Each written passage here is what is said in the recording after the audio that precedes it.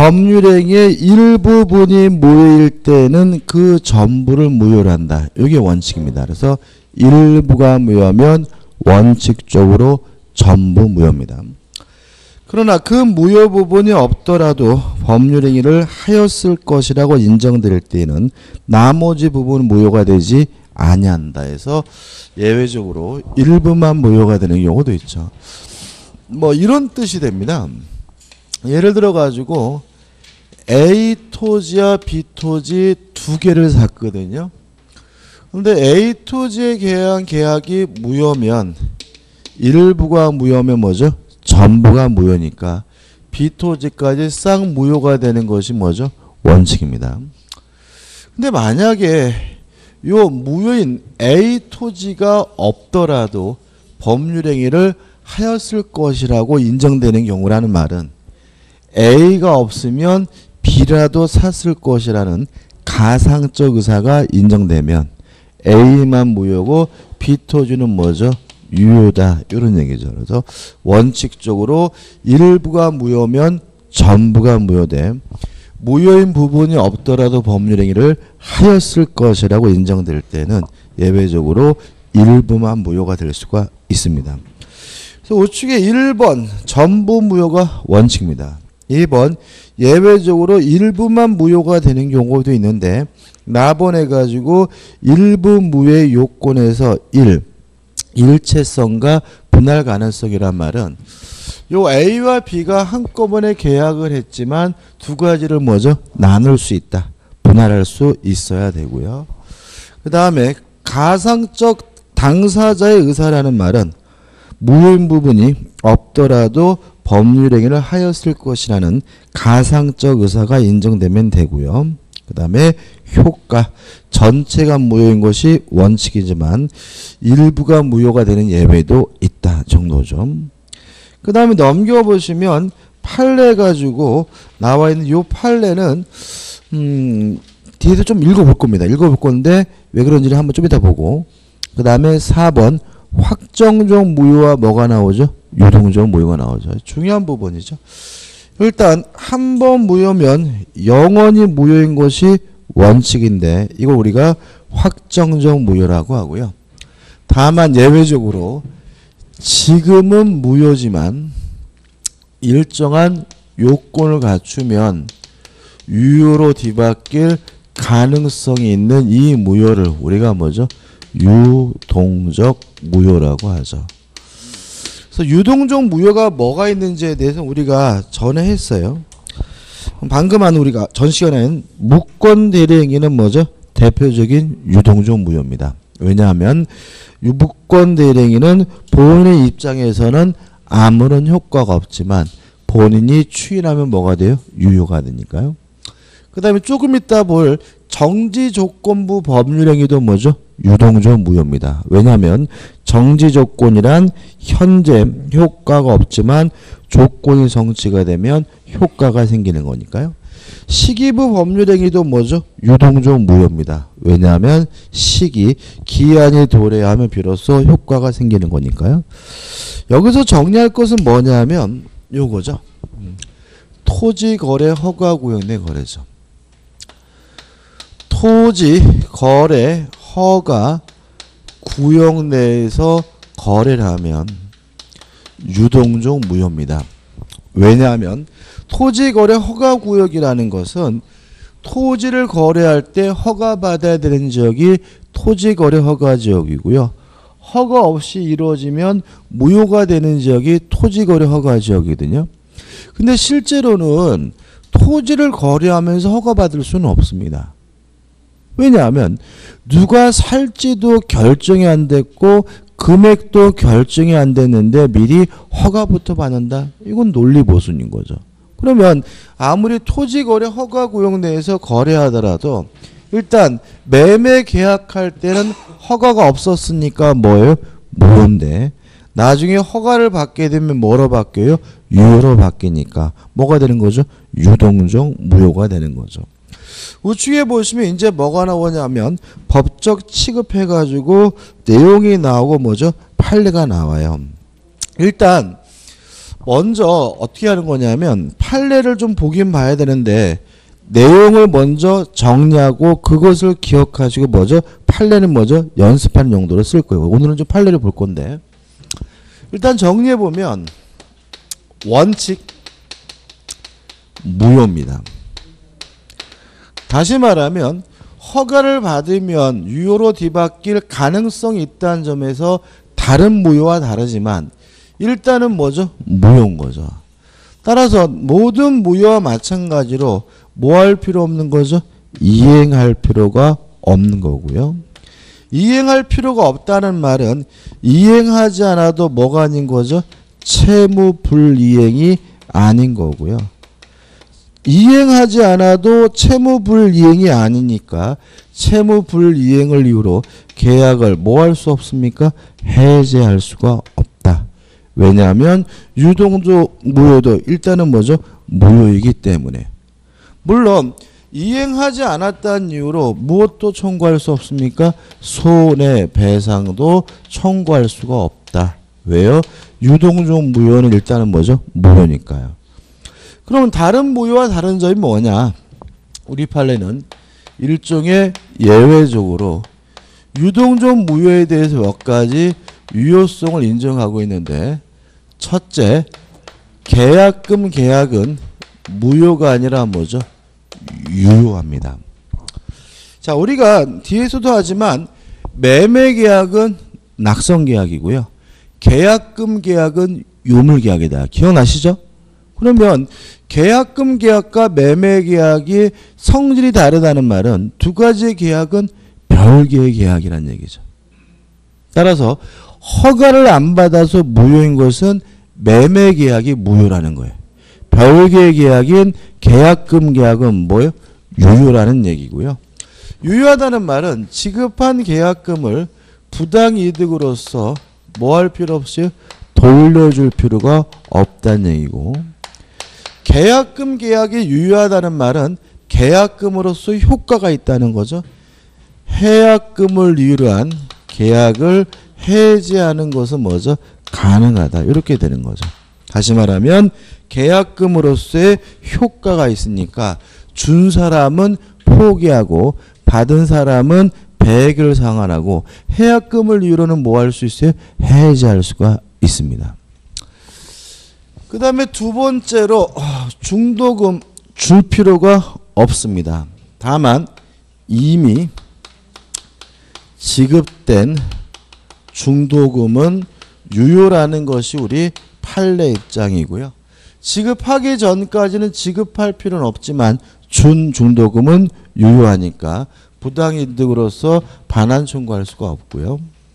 세 번째 토지 거래 허가 절차에 관한 뭐는 존재하냐면 협력 의무는 존재한다는 것이 우리 판례 입장입니다. 다시 말하면 토지거래 허가 절차에 대해서 협력 의무가 있다는 말은 토지거래 허가 받으러 가자 그러면 가줘야 된다는 얘기죠. 근데 만약에 일방 당사자가 한쪽 당사자가 못하겠다라고 거부하면 강제하는 것은 가능하고 또 일방이 거부했다는 이유로 손해가 발생했다면 손해배상을 청구하는 것도 가능하지만 계약 자체를 해지할 수는 없다는 거 주의하셔야 되겠죠. 왜냐하면 우리 판례가 요 협력 의무를 주된 채무가 아니라 부수적 채무로 이해합니다. 부수적 채무이기 때문에 강제할 수도 있고 손해배상도 청구할 수 있지만 계약 자체를 뭐 할 수는 없어요? 해지할 수는 없다는 게 우리 판례 입장이죠. 그 다음에 네 번째로 별도의 취소 사유가 존재해요. 이때는 취소하는 거 가능하다는 입장이고 다섯 번째 별도의 무효 사유가 존재해요. 별도의 무효 사유를 주장하는 것도 가능하다는 것이 우리 판례 입장입니다. 세 번째로 기타죠. 기타. 첫째, 지정 해제가 되면 더 이상 허가받을 필요가 없습니다. 왜냐하면 더 이상 유동적 무효가 아니라 확정적 유효가 됩니다. 다시 말하면 매매 계약할 때는 토지거래 허가 구역에 있는데 허, 허가를 받으려고 준비하는 과정에서 지정 해제가 되면 더 이상 뭐 받을 필요 없죠? 허가 받을 필요가 없고요. 두 번째 토지거래 허가 구역 내에서 건물과 토지를 일괄해서 거래하는 경우 건물만 이전 등기해달라고 청구할 수는 없습니다. 왜냐하면 일부가 무효면 전부가 무효인 것이 원칙입니다. 다시 말하면 토지 거래에 대해서 허가를 받지 않아서 토지 거래가 무효인 상태라면 일부가 무효면 뭐가 원칙이죠? 전부가 무효니까 뭐까지 싹 무효인 거죠? 건물 거래까지 싹 무효인 것이고요. 따라서 건물만 이전 등기해 달라고 뭐 하지 못해요? 청구하지 못하고요. 세 번째 중간 생략 등기는 원칙적으로 유효합니다. 다만 중간 생략 등기가 이루어진 지역이 만약에 토지 거래 허가 구역이라면 이때는 아예 무효가 된다는 것이 우리 판례 입장이고요. 마지막으로 확정적 무효죠.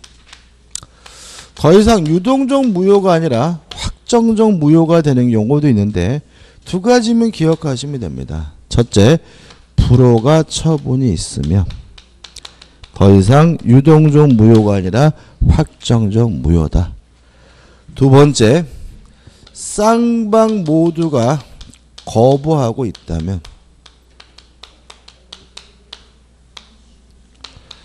더 이상 유동적 무효가 아니라 확정적 무효입니다. 그러니까 일방이 거부하고 있다면 아직도 허가받을 가능성이 있어서 유동적 무효지만 쌍방 모두가 거부하고 있다면 이 사람들은 허가받을 가능성이 더 이상 없기 때문에 더 이상 유동적 무효가 아니라 뭐죠? 확정적 무효입니다. 여기까지죠, 그죠? 어, 최근엔 좀 잘 안 내더라고요. 이게 왜 그러냐면은 좀 어려워하시는 부분이기 때문에 그런 것 같은데 그래도 출제는 대단히 높은 부분이니까 확실하게 정리해야 되고요. 요 가지고 이제 판례를 볼 겁니다. 교재 161페이지 오시면 핵심 판례가 나와 있어요.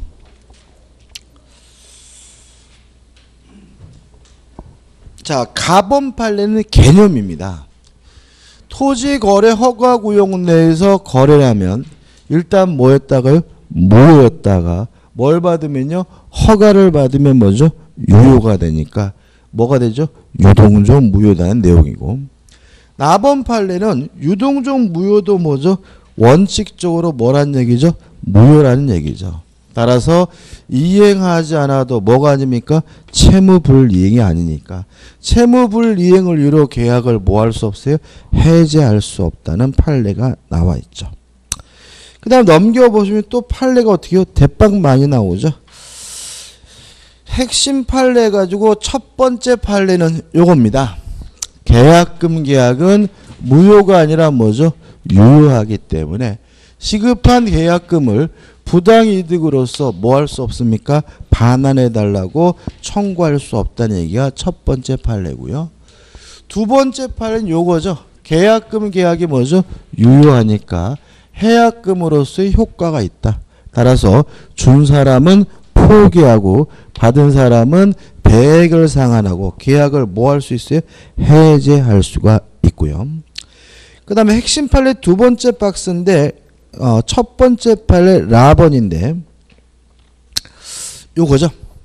협력 의무는 뭐하죠? 존재한다. 따라서 일방이 그것을 못하겠다고 거부하고 있다면 뭐 할 수 있어요? 강제할 수가 있다. 그래서 라번 판례 끝에 보시면 협력 의무의 이행을 소송으로 구할 이익이 있다 이런 말이 나와 있죠. 그 다음에 두 번째 판례는 뭐겠습니까? 요거겠죠. 아, 협력 의무를 일방이 거부했다는 이유로 계약 자체를 뭐할 수는 없어요? 해지할 수는 없다. 왜냐하면 주된 채무가 아니라 뭐죠? 부수적 채무이기 때문에요. 그 다음에 세 번째 판례는 요겁니다. 협력 의무를 일방이 거부하고 있다면 손해배상은 뭐 할 수 있어요? 청구할 수 있다. 이런 취지의 판례가 됩니다. 그 다음에 우측에 대법원에서 2013년도 판례가 나와 있는데 더럽게 뭐죠? 복잡한 상태에 되어 있는데 어... 아 이거네 그죠? 음...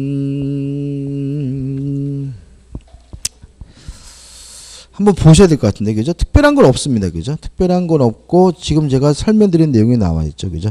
어, 결국 원칙이네 그죠?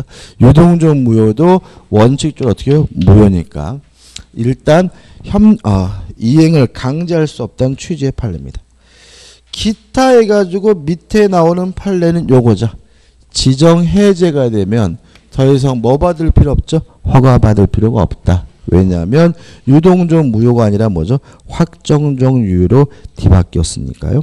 그 다음에 넘겨보시면 마지막 판례인데 요거거든요. 토지 거래 허가 구역 내에서 건물과 토지를 일괄해서 이, 아, 거래한 경우에는 건물만 이전 등기해 달라고 뭐 하지 못합니까? 청구하지 못한다. 왜냐하면 토지 거래가 무효면 일부가 무효면 전부가 무효해서 건물 거래도 뭐죠? 무효이기 때문에요. 요 판례는 좀 읽어봐야 돼. 왜냐하면 거꾸로 이해될 수가 있어요. 자, 핵심 판례 가지고 위에서부터 하나, 둘, 셋, 세 번째 줄부터 거예요. 국토이용관리법상 규제구역 내의 토지와 건물을 일괄하여 매매하는 경우 일반적으로 토지와 그 지상의 건물은 법률적 운명을 같이 하는 것이 거래 가능이고 당사자의 의사나 경제관념에도 하치되는 것이므로 토지에 관한 당국에 거래 허가가 없으면 건물만이라도 매매하였을 것이라 볼 수 있는 뭐라고 되어 있죠? 특별한 사정이 인정되는 경우에 하나요. 토지에 대한 매매 거래 허가가 있기 전에 건물만의 소유권 이전 등이 명할 수 있다고 하여 보아야 할 것이고까지죠. 그러면 건물만 이전 등기 받을 수 있다는 얘기 없다는 얘기예요? 없다는 얘기죠. 어떤 얘기죠? 다시 읽어봐요. 특별한 사정이 인정되는 경우에 하나여잖아요. 그죠? 그러니까 특별한 사정이 인정되는 경우에 하나요.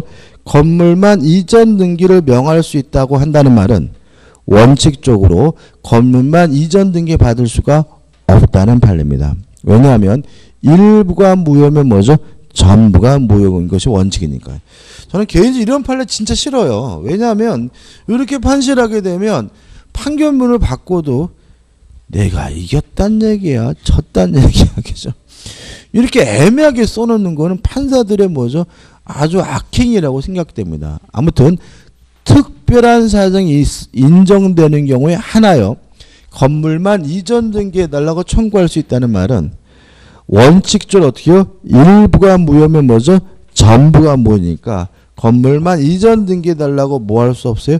청구할 수 없다는 취지의 판례인 거죠. 계속 볼게요. 그렇지 않은 경우에는 토지에 대한 거래 허가가 있어 그 매매 계약의 전부가 유효한 것으로 확정된 후에 토지에 함께 이전 등기를 명하는 것이 옳을 것이다 라고 나와 있죠. 다시 말씀드리면 일부가 무효면 전부가 무효인 것이 원칙입니다. 그다음에 확정적 무효로 전환 뭐 두 가지만 잊지 말자고 말씀드렸고요. 밑에 대페이지를 풀어볼게요. 토지거래 허가 지역 내의 토지와 지상 건물을 일괄하여 매매하고 계약금이 수수된 경우에 관한 다음 설명 중 판례 입장과 다른 것이 1번 허가를 받을 것을 전제로 매매한 경우 허가받기 전에는 매매 계약이 유동적 무효 상태이다. 맞죠? 개념이네요. 2번 유동적 무효 상태에 있는 거래계약 당사자는 상대방이 그 거래계약의 효력이 완성되도록 협력할 의무를 이행하지 아니한 경우 거래계약을 해지할 수 있다. X죠. 협력 의무는 주된 채무가 아니라 불속 채무로 강제할 수도 있고 손해배상을 청구할 수 있지만 계약 자체를 해지할 수는 없습니다. 3번 유동적 무효의 상태에서는 원칙적으로 계약금의 반환을 청구하지 못한다. 5죠. 왜요? 계약금 계약은 무효가 아니라 뭐죠? 유효하니까. 4번 허가구역 지정이 계약 체계로에 해제되면 당해 계약은 확정적으로 유효가 된다. 맞죠? 따라서 더 이상 허가받을 필요가 없고요. 5번 특별한 사정이 없는 한 토지 거래 허가가 있기 전에는 매수인은 건물만의 소유권 이전 등기를 청구하지 못한다. 맞죠? 일부가 무효면 뭐죠? 전부가 무효니까 그런 거죠. 그 다음 우측에 이제 무효행위 뭐가 나오죠? 전환이 나옵니다. 일단 의의는 이렇습니다. 무효인 법률행위가 유효한 다른 법률행위, 타 법률행위로 뒤바뀌는 것을 무효행위의 전환이라고 합니다. 의 나와 있죠. 전환의 요건에서 1번 법률 일단은 뭐죠? 무효고 2번 다른 범위 요건을 구비하고 있어야 되고요. 넘겨 3번 당사자의 가상자 의사에서 무인질 하였으면 다른 범위를 하였을 것이라는 가상적 의사가 인정이 되고요. 4번 단독행위에 대해서 우리 판례는 전환을 인정합니다. 일단 가다 넘어갔고 전환의 모습이 나오죠. 여기서부터 이제 생각해 봐야 되는데 일단 원칙입니다. 무효인 법률행위가 그것이 요식행위든 불요식행위든 이것이 다른 법률행위로 전환이 되면 뭐로 바뀌는 것이 원칙이냐면 불요식행위로 바뀌는 것이 원칙입니다. 다시 한번요.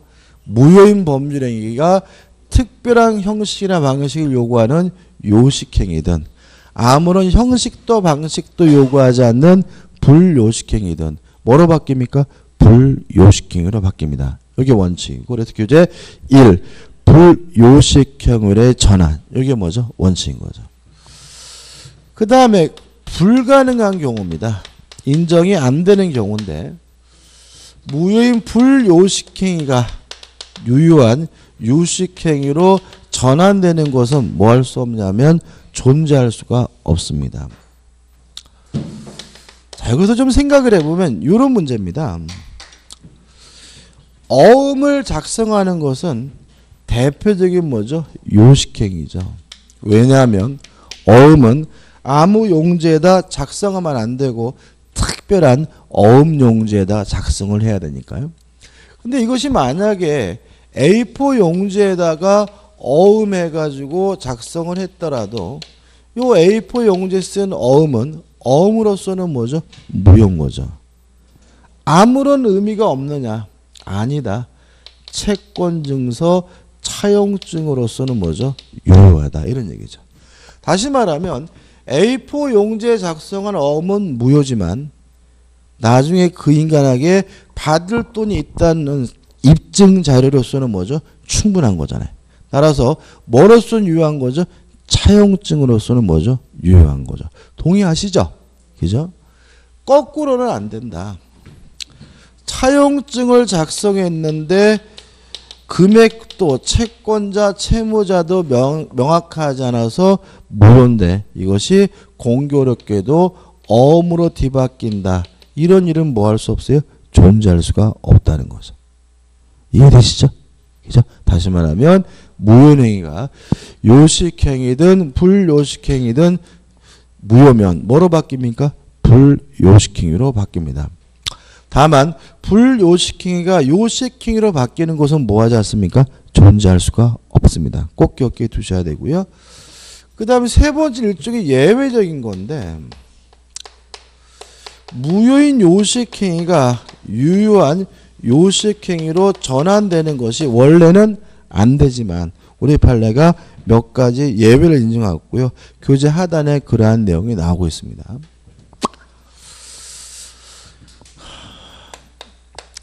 타인의 자를요 친자로 입적시키면 무효입니다.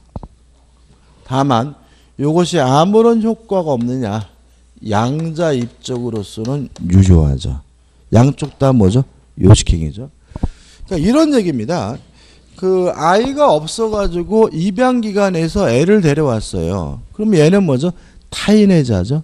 근데 우리가 가족관계 등록부에다가는 일반적으로 뭐로 입적시킵니까? 친자로 입적시키는 경우가 많죠. 무료입니다. 왜요? 그 아이는 뭐가 아니에요? 친자식이 아니니까요. 그럼 아무것도 아니냐? 양자다. 왜냐하면 어, 무효지만 뭐로 바뀔 수는 있어요? 양자로 전환될 수는 있으니까요. 둘 다 뭐죠? 요식행입니다.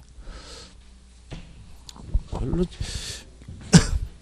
항상 제가 대전에 오면은 별로 재미가 없으신가 봐. 이런 건 어떨까요? 그래서 이런 거 많습니다. 갑과 을이 부부예요. 이거 시험과 상관없습니다. 흥미를 가지기 위해서 말씀드리는 건 재밌어야 할 텐데. 갑과 을이 부부인데 아이가 없어서 입양 기간에 A를 데려왔어요. A를. 근데 A를 데려오고 나서 공교롭게도 또 갑을 사이에 뭐죠? B, C 하는 아이가 이렇게 출생을 하게 됐어요. 이런 경우 또 의외로 많더라고요. 그죠? 애가 없어서 고민하다가 애 데려왔더니 뭐죠? 애가 생기는 경우 죠 그럼 요 A는 완전히 뭐죠? 낙동갈 오리알 되는 거죠. 그죠? 그 세월이 흘러서 이제 어떻게 해요? 음, 이제 갑과 을이 뭐죠? 돌아가셨어요. 그러면 갑과 을의 재산이 많은 경우에는 A와 B 씨 간에 재산 분쟁을 하는 경우가 많아요. B 씨가 뭐라고 주장하는 거죠? 형 아니라는 거죠. 왜냐하면 A는 타인의 잔대 뭐죠? 가족관계 등록부에 뭐죠?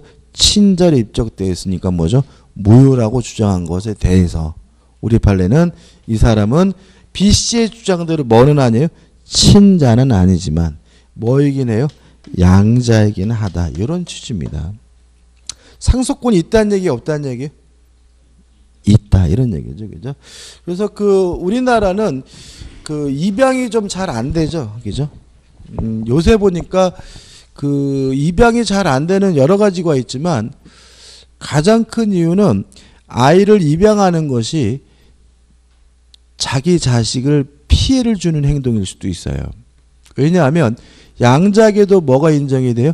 상속권이 인정이 되니까 그죠? 근데 서양 사람들은 아이를 입양 많이 하죠. 이유는 뭐냐면 양자의 상속권을 제한할 수 있습니다. 그래서 또 최근에 가장 문제가 되는 게 뭐냐면 그 이렇게 미국으로 입양 가가지고 고등학교로 졸업하는 순간 부양의 의무가 끝나거든요. 그래서 집에서 강제로 쫓겨나가지고 쫓겨나가지고 뭐죠? 헤매다가 갈 곳이 없어서 한국으로 돌아와서 뭐 헤매고 살고 있는 분들도 굉장히 굉장히 많고 그런 일이 발생하는 이유는 양자에게 무엇을요 상속권을 제한을 할 수 있다는 미, 미국의 법 때문에 그런 거죠, 그죠? 아무튼 좀 가슴 아프죠. 이런 건 또 어떨까요? 갑과 을이 부부예요. 부부인데 아이가 없어가지고 입양 기간에 가서 A를 데려왔어요. A를 양자인 거죠. 그러고 나서 갑과 을이 뭘 했냐면 이혼을 했어요. 또 이런 경우도 여기서 굉장히 많아요. 애 데려왔는데 뭐죠? 이혼하는 경우. 그러면 이제 어떻게 해요? 갑은 이제 어떻게 해요? 술 먹, 술만 처먹고 을은 뭐죠? 기회를 봐서 꽃미남과 뭐 하게 돼요? 재혼하게 되고. 요 A는 뭐죠? 낙동강 오리알이 돼가지고 이제 뭐 방황하는 이런 상태가 되는 거죠. 그래서 을이 재혼을 해가지고 을과 병간에 아이가 태어났어요. B, C가 이해되시죠, 그죠? 또 세월이 많이 흘러서 갑도 돌아가시고 병도 돌아가시고 드디어 뭐죠? 을이 돌아가시게 됐단 말이죠. 그래서 B 씨가 이제 어머니가 돌아가셨으니까 어떻게 해요? 장례식장에서 모시고 있는데 갑자기 이상한 아저씨가 와서 막 울어요. 그래서 B 씨가 놀래가지고 아저씨 누구세요? 그랬더니 네 형이야 이렇게 주장한단 말이죠. 이 실제로 이런 사건도 많습니다. 그러면 이게 형이라는 말은 뭐예요? A에게도 뭐가 있다는 얘기예요? 상속권이 있다는 얘기죠. A에게 상속권 인정돼요? 안 돼요? 인정이 됩니다. 음, 왜냐하면 부 양부모가 이혼한다 그래서 양모자 양친자 관계가 해소되지 않아요. 그래서 갑과 을이 이혼했더라도 아직도 을은 뭐요? 양모인 거예요. 그래서 을은 뭐죠? A는 뭐죠? 아직도 양자고 A에게 뭐가 인정됩니까? 상속권이 인정됩니다. B 씨 입장에서 환장할 수 있죠. 왜냐하면 어머니가 굳이 이런 얘기 안 하잖아요. 이런 얘기 안 하니까 갑자기 뭐 이런 사람이 있는지도 몰랐는데 이상한 사람이 와가지고 뭐죠 상속권을 인정해 달라고 요구하니까 뭐죠 뭐 소송도 벌어지고 이런 것도 많고요. 또 최근에 또 이런 것도 많아요. 재미로 말씀드리면 이런 게 재밌죠. 이제 원래 친족상속법이 재밌어요. 가백에 뭐죠 A, B, C 자식이 있는 할아버지 노인이시고 을에게 뭐죠 D, F 자식이 있는 뭐죠 할머니인데 요 갑과 을이 노인대학 다니다가 눈이 맞았어요. 그래서 둘 다 혼자 사니까 뭐죠 갑과 을이 혼인하겠다라고 그러면 자식들이 반대를 하게 됩니다. 왜 그러냐면 자 보시면 갑과 을이 만약에 재혼을 혼인을 하시게 되면 을을 A, B 입장에는 새어머니라 그러죠. 친족이에요, 아니에요? 어, 친족 아닙니다. 그러니까 새어머니, 새아버지는 친족이 아니에요. 현행법상. 그러니까 아버지의 배우자인 것이지 친족이 아니에요. 그래서 어떤 일이 발생하냐면 갑이 돌아가시게 되면 상 재산이 A, B, C와 을에게 뭐가 돼요? 상속이 돼요. 을은 배우자니까. 그러고 나서 을이 돌아가시게 되면 을의 재산이 D, E, F에게 상속이 되고요. 이쪽으로 돌아오질 않아요. 무슨 아시겠어요? 다시 말하면 새어머니는 뭐가 아니에요? 친족이 아닙니다. 새아버지도 뭐가 아니에요? 친족이 아니에요. 그래서 새아버지 재산이 상속되지도 않고요. 새어머니 재산이 뭐죠? 상속되지는 않기 때문에 이런 일이 벌어지게 되면 갑의 재산이 을한테 갔다가 이게 뭐 하잖아요? 돌아오질 않고 DF한테 가버리기 때문에 ABC들이 뭐죠? 재혼하는 것에 대해서 반대를 하게 돼요. 거기다 갑자기 아버지가 뭐죠? 아흔이 다 되셨고 얼마 안 남으셨고 그죠? 그 새어머니 데려오신 분은 보니까 60대 쌩쌩하시더라. 이렇게 되면 어떤 느낌이 드는 거죠? 우리 아버지 뭐죠? 재산 빼돌리고 오려고 한다라고 생각을 갖게 되는 거죠. 왜냐하면 새어머니한테 간 재산이 돌아오질 않으니까 자신들 입장에서는 아버지가 가지고 있던 재산이 새어머니까지 간다는 것까지는 받아들일 수가 있는데 갔다가 이것이 영원히 뭐죠? 돌아올 수 없다는 사실을 알게 되면 재혼하는 것에 대해서 찬성할 수가 없는 거예요. 그러니까 이제 뭐죠? 할머니, 할아버지가 손잡고 요새 가출을 많이 하세요. 자식들이 뭐죠? 결혼을 반대한다 그래서 예, 가출하시고 막 그리고 자식들이 뭐죠? 같이 사시는 건 좋은데 절대로 혼인 신고를 하지 마세요. 막 이렇게 땡깡 부리고 제가 떠오르는 사람이 누구죠? 아 갑자기 이름 생각 안 나네. 그 배우 백 뭔데? 싸움의 정석에 나왔던 그 배우 있죠. 백 백윤식이죠. 백윤식이 그 뭐죠? 이렇게 딸 같은 여자하고 사귀었었잖아요. 기억나세요?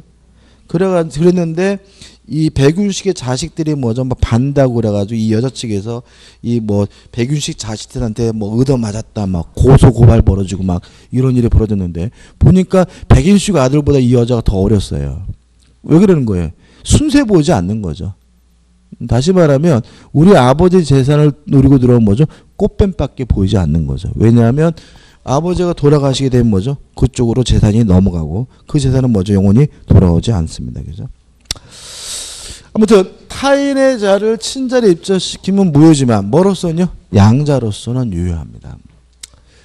그 다음에 두 번째 혼인 외의 출생자죠. 혼인 외의 출생자를 친자로 입적시키면 무효지만 뭐로서는 유효하냐면 인지로서는 유효합니다. 인지라는 말이 뭐죠? 내 자식임을 인정하는 행위를 인지라고 해요. 근데 우리 민법에 재밌는 게 있어요. 아이가 태어나요. 그러면 모자 관계는 바로 발생해요.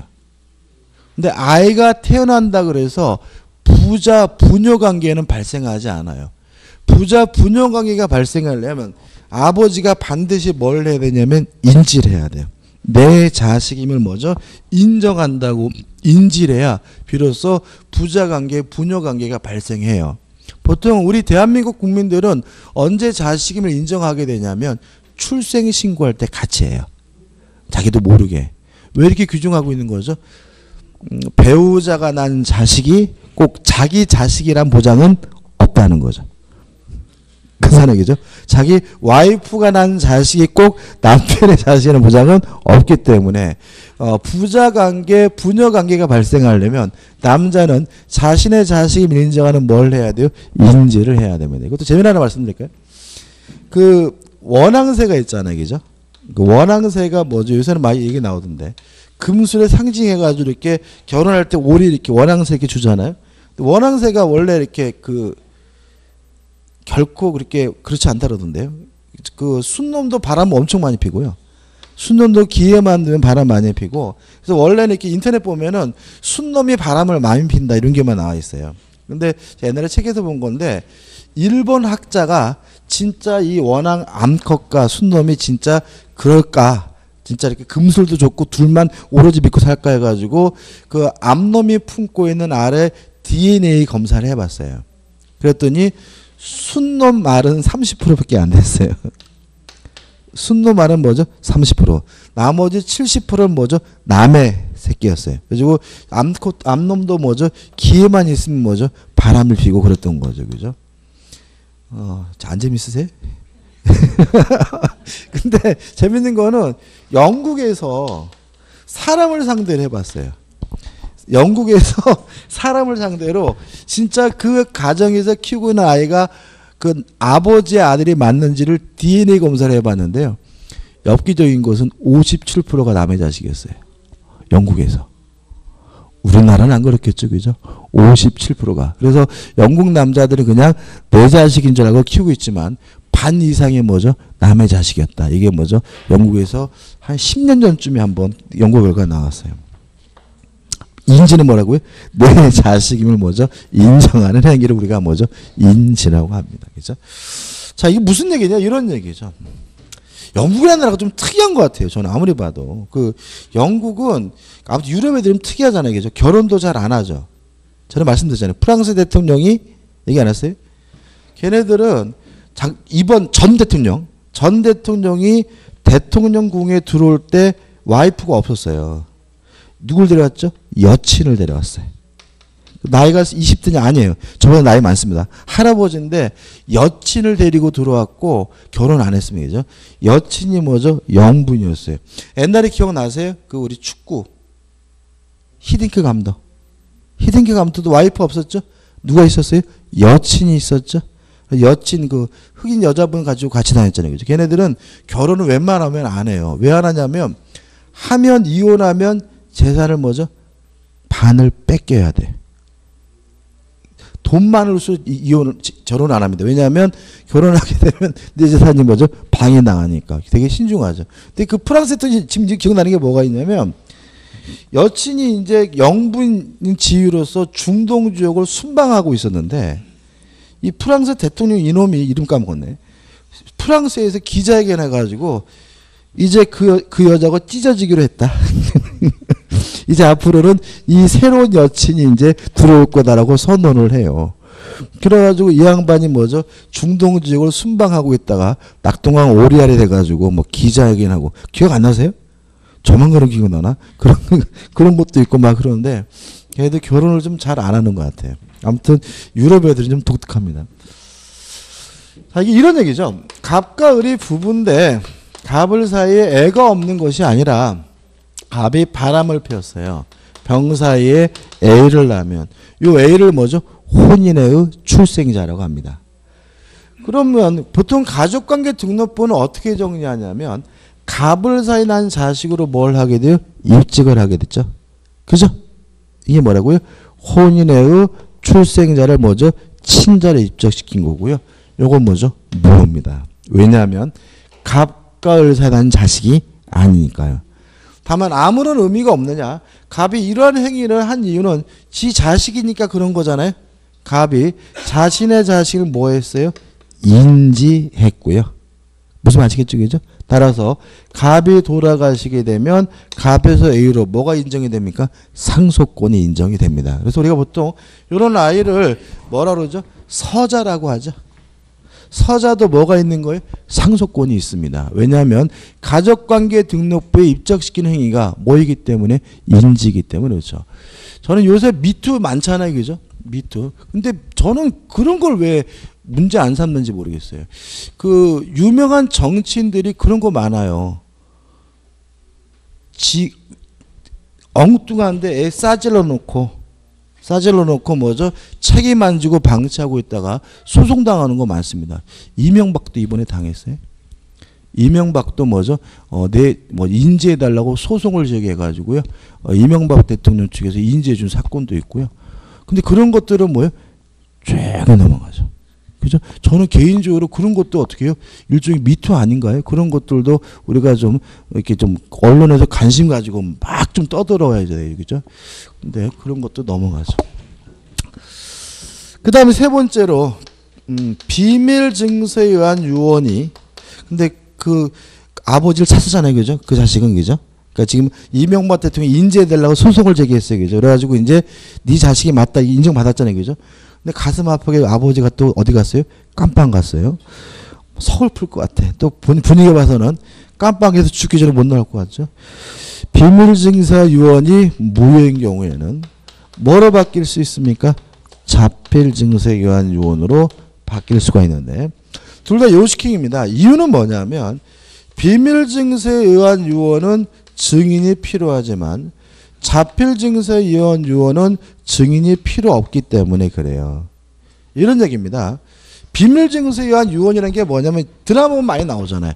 회장님이 돌아가시면 이제 어떻게 해요? 가족들 모아놓고 김 변호사가 와가지고 자 회장님의 유언장 읽어드려서 이게, 이게 비밀 증서인 유언입니다. 그러니까 다시 말하면 유언장을 작성할 때 그 내용을 뭐로 한다는 얘기? 비밀로 한다는 얘기거든요. 근데 재밌는 거는 유언장 읽어봤더니 내 재산에서 50억을 개똥이에게 준다라고 써 있고 그 유언장이 증인이 개똥이면 그 유언은 무효예요. 왜냐하면 유언장의 내용과 증인의 이해관 증인은 이해관계가 있으면 안 돼요.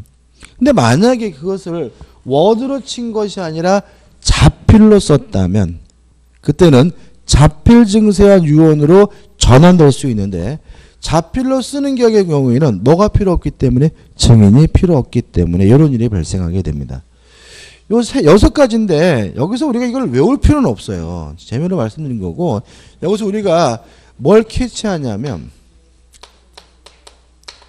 가족법상 행위에 대해서 무행이 뭐죠? 전환이 긍정된다는 거죠.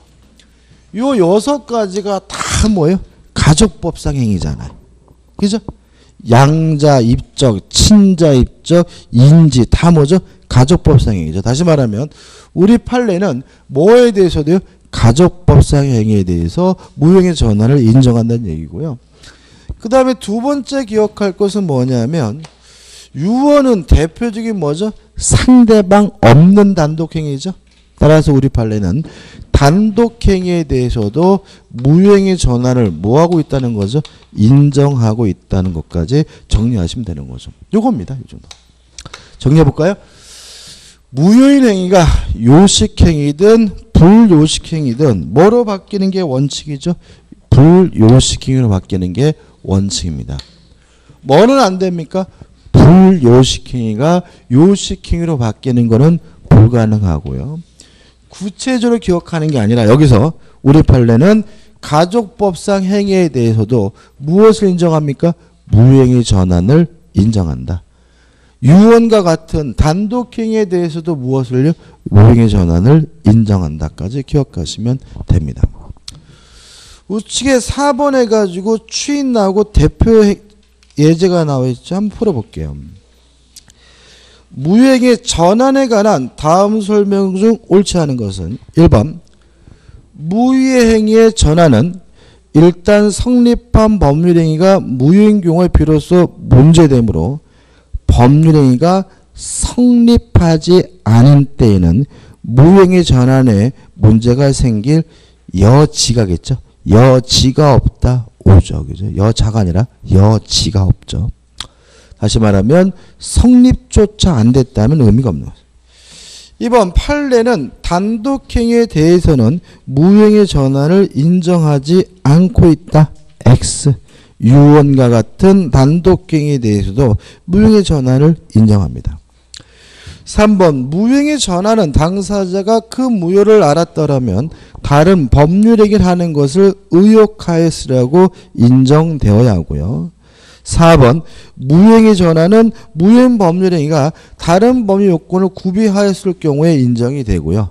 5번 판례는 이방, 상속 등과 관련된 신분행위, 가족법상 행위에 있어서도 무행의 전환을 인정하고 있다. 맞는 질문이 되고요. 답은 뭐죠? 2번이 됩니다. 그 다음에 무행의 추인이 나오는데 음, 일단 정리라고 교재를 볼 건데요. 무형의 추인에 대해서 시험 문제는 무조건 냅니다. 일단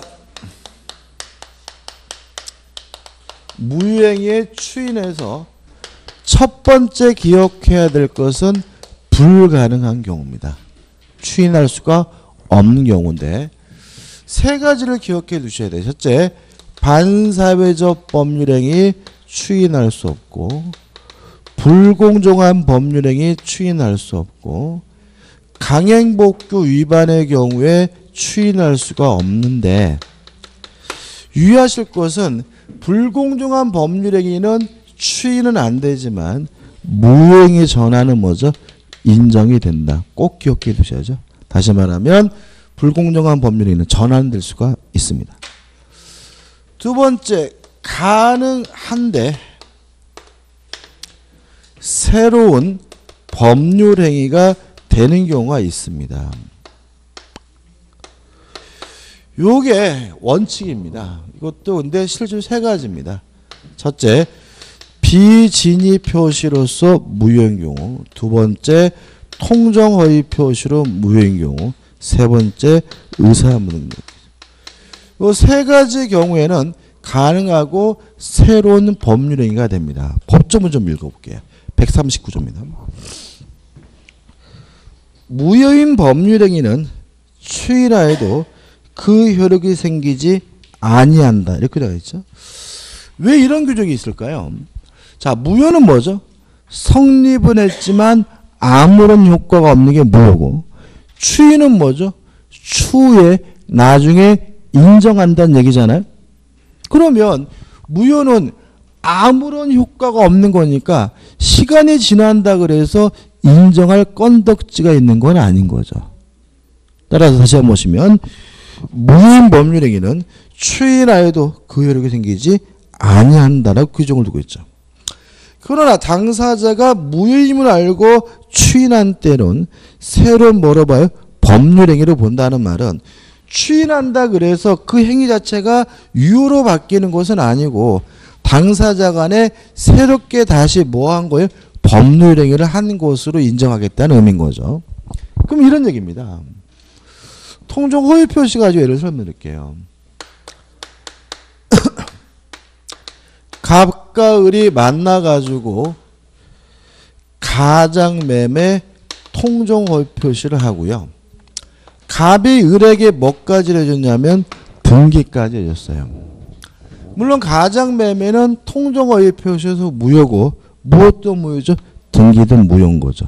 이해되시죠? 시간이 흘러갔어요. 나중에 갑이 추인하겠다고 해봤자 요 무효였던 것이 뭐로 바뀌는 건 아니에요? 유효로 바뀌는 건 아니라는 거죠. 근데 당사자가 을도 좋다. 나도 추인하고 싶다라고 당사자가 모두 추인하겠다고 했다면 이제 갑과 을은 요때 새롭게 다시 뭐한 것을요? 매매 계약을 다시 체결한 것으로 보겠다는 얘기죠. 다시 한번요. 무효인 행위를 추인하면 무효가 유효로 바뀌지는 않습니다. 다만 당사자가 새롭게 다시 뭐 한 것을요? 법률행위라는 것으로 이해합니다. 그럼 결과적으로 매매 계약을 한 때부터 소급 아, 효과가 발생한다는 얘기니까 과거로 뭐 하지 않는다는 뜻이냐면 소급하지 않는다는 뜻이에요. 여기서 문제가 생깁니다. 그러면 다시 한번 볼게요. 갑과 을 간의 매매는 변함없이 무효고 을의 등기도 뭐죠? 변함없이 무효니까 을의 소유권을 취득하려면 요 등기를 말소한 후 새로운 매매 계약을 근거로 해서 다시 이전 등기 받아야 비로소 뭘 취득하는 거죠? 소유권을 취득한다는 얘기겠죠? 너무나 번거롭죠? 따라 우리 판례는 다만 당사자 간의 특약으로 소급시키는 것은 가능하다라고 일종의 예외를 인정하고 있습니다. 따라서 갑과 을이 야 그거 말소하고 이전 등기하느니 복잡하게 하지 말고 그냥 요 무효했던 것을 뭐죠? 유효라 하자. 쌍방간의 특약으로 뭐 할 수 있어요? 소급시키는 것은 가능하다는 것이 우리 판례 입장입니다. 정리하면 비진위 표시나 통정어휘 표시나 의사 무능력자의 경우에는 추인할 수 있는데 추인하게 되면 뭐가 됩니까? 새로운 법률행위가 됩니다. 그 말은 뭐 하지 않는다는 얘기죠? 소급하지 않는다는 문제인데 조심할 것은 당사자 간의 특약으로 뭐 할 수 있습니까? 소급시킬 수는 있습니다. 그 다음 마지막으로 세 번째 가능하고요. 소급해서 처음으로 돌아가서 유효가 되는 경우가 있어요. 딱 하나입니다. 무권 대리행위죠. 무권 대리행위는 본인의 입장에서 뭐죠? 무효입니다. 다만 본인이 뭐 할 수 있죠? 추인할 수 있고 추인하게 되면 무권 대리시로 뭐가 돼요? 소급해서 유효가 되는 경우가 되겠죠. 그래서 요 세 가지로 나누어서 어, 정리하셔야 되고요. 시험엔 잘 나옵니다. 넘겨보시면 168페이지에 제가 열심히 설명드린 내용이 나오니까 한번 보시기 바라고 핵심 판례는 그닥 큰 의미는 없습니다. 일단은 169페이지 보시면 뭐가 나오죠? 대표의제가 나오죠. 풀어보죠. 추인하여도 효력이 생기지 않는 무효인 법률행위를 모두 고른 것은 기억 불공정한 법률행위 추인할 수 없습니다. 니은번 무권대리행위 추인할 수 있죠? 디귿번 불법 조건이 붙은 법률행위 불법 조건이 뭐죠? 조건이 반사회적인 경우죠. 반사회적 법률에 뭐 할 수 없습니까? 추인할 수 없죠. 1번 통정어의 표시 뭐 할 수 있죠? 추인할 수 있죠. 그러면 추인할 수 없는 것은 기억 디귿해서 2번이 답이고요. 그래서 의외로 요 추인이 불가능한 경우 요 세 가지 꼭 기억해 두셔야 됩니다. 좀 쉬었다가 법률행위 취소로 들어가도록 하겠습니다.